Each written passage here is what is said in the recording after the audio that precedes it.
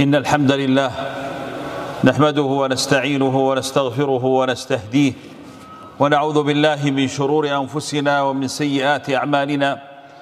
من يهده الله فلا مضل له ومن يضلل فلا هادي له وأشهد أن لا إله إلا الله وحده لا شريك له وأشهد أن محمدا عبده ورسوله صلى الله عليه وعلى آله وصحبه وسلم تسليما كثيرا إلى يوم الدين.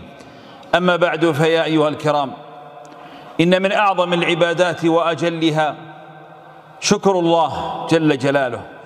فمن أسمائه الشكور والشكور هو الذي يقبل من عباده القليل ويعطيهم مقابل ذلك الشيء الكثير.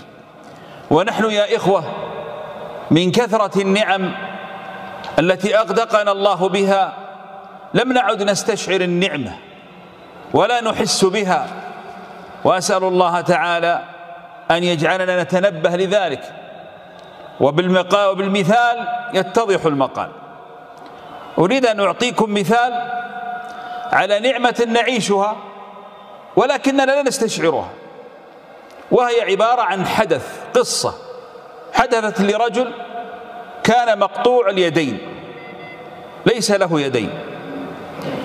كان دائما إذا ذهب إلى مناسبة يأخذ مرافق معه. وفي مرة من المرات أخذ المرافق ولكن المرافق انشغل عنه فأراد هذا الرجل أن يقضي حاجته. فذهب يبحث عن صاحبه ما وجده فاضطر أن يستعين بأحد أقاربه. فقام قريبه معه حتى أدخله أكرمكم الله إلى بيت الخلاء إلى دورة المياه. ثم بعد ذلك جلس صاحبه في الخارج قال ادخل معي. دخل معه ماذا تريد؟ قال اخلع ملابسي. فأنا لا أستطيع أن أخلع ملابسي.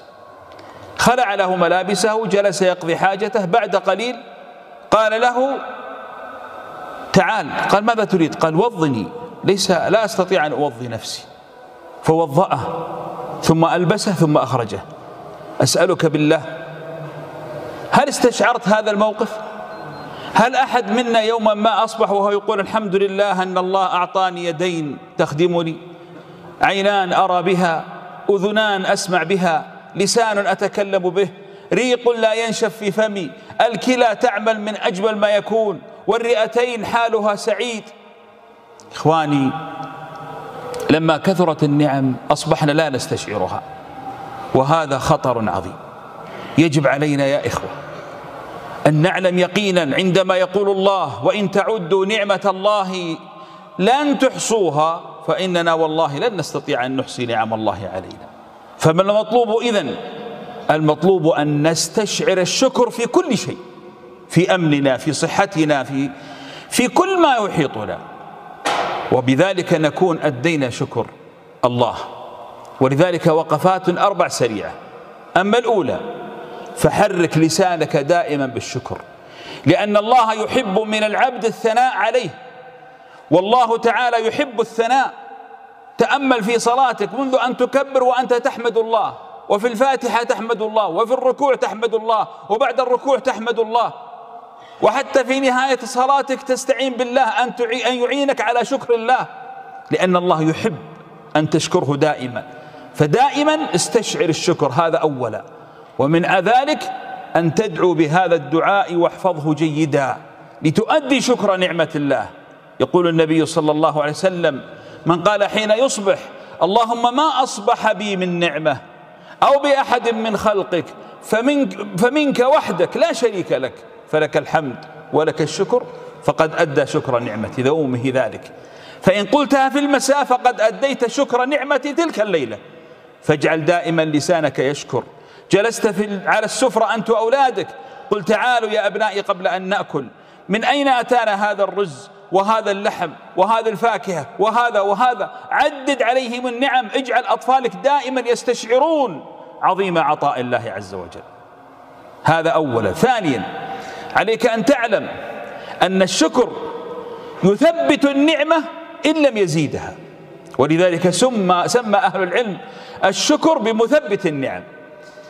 النبي صلى الله عليه وسلم يدخل على عائشة رضي الله عنها فيجد كسرة من الخبز على الأرض فيأخذها عليه الصلاة والسلام ثم يمسحها ويأكلها يأكل كسرة خبز على الأرض ملقية مع أنه الرجل الذي دخل جنة الله والذي لو أراد أن تقلب له بطحاء مكة ذهب لقلبت لكنه الشكر ثم ماذا قال وهذا الشاهد؟ قال لعائشة رضي الله عنها يا عائشة انتبه يا أحبيبي لهذا الكلام. إن النعم إذا فرت قل ما تعود. ما الذي يثبت النعمة الشكر. وعدم شكر النعمة يجعلها تفر فإن فرت فإنها لا تعود. فانتبهوا للنعم التي بين أيديكم. ثالثا اعلم يا كريم أن الشكر فيه أمان من عذاب الله عز وجل. كيف ذلك؟ نعم الشاكر يأمن من عذاب الله. ألم تسمع إلى الله؟ وهو يقول ما يفعل الله بعذابكم إن شكرتم وآمنتم.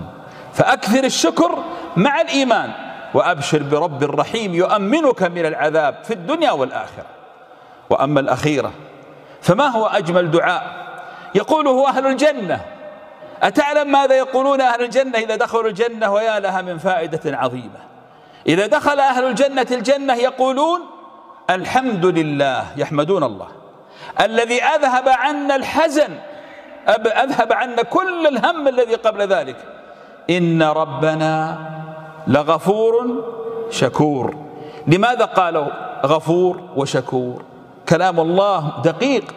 قالوا غفور لأنهم لما وقفوا في المحكمة أمام الله عرض الله عليهم أعمالهم وغدراتهم وأخطائهم في الدنيا. فماذا قال الله لأهل الإيمان؟ وأسأل الله أن نكون منهم. قولوا آمين.